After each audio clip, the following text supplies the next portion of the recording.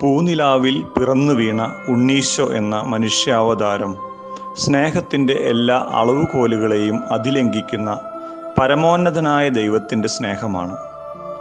ഒരു രക്ഷകന്റെ പിറവിയുടെ പ്രതീകമായി ലഭിച്ച നക്ഷത്ര ദർശനം ജ്ഞാനികളെ സഞ്ചാരികളാക്കി. ജീവിതത്തിന്റെ സഞ്ചാരത്തിൽ കണ്ടുമുട്ടുന്ന സത്യത്തിന്റെ പ്രഭയാണ് ക്രിസ്തുമസ്. സത്യത്തിന്റെയും സ്നേഹത്തിന്റെയും പാതയിൽ സഞ്ചരിച്ചാലേ നമുക്ക് ക്രിസ്തുമസ് അനുഭവവേദ്യമാകൂ. സ്വാർത്ഥതയുടെ പിരിമുറുക്കത്തിൽ നിന്ന് പുറത്തു കടന്ന് സത്യദൈവത്തിലേക്കും സഹോദരങ്ങളിലേക്കും സഞ്ചരിക്കുമ്പോഴാണ് മനുഷ്യാവതാരം ചെയ്ത ഈശോ നമ്മിൽ പിറവി കൊള്ളുക ഇന്ന് നാം ആയിരിക്കുന്ന അവസ്ഥയിൽ നിന്ന് നാം ആയിരിക്കേണ്ട അവസ്ഥയിലേക്ക് വഴി നടക്കുമ്പോൾ നമുക്ക് ക്രിസ്തുമസ് എല്ലാ ദിവസവും കരഗതമാകുന്ന ഒരു അനുഭവമാകുന്നു.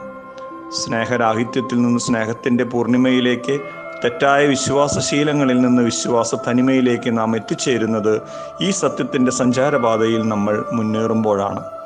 ആഘോഷങ്ങളുടെ മാസ്മരികതയിൽ നിന്ന് വിടുതൽ വാങ്ങി ആ കാലിത്തൊഴുത്തിന്റെ ഏകാന്തതയിലേക്കും ക്രിസ്മസ് രാവിലെ പൂനിലാവിന്റെ ശാന്തതയിലേക്കും കടന്നു ചെന്ന് ആട്ടിടയരെ പോലെ വിനീതരാകാനും അതുവഴി കന്യകാമറിയത്തെയും ഔസേപിതാവിനെയും പോലെ വിശുദ്ധരായി ജീവിക്കാനും ഏവർക്ക് സാധിക്കട്ടെ.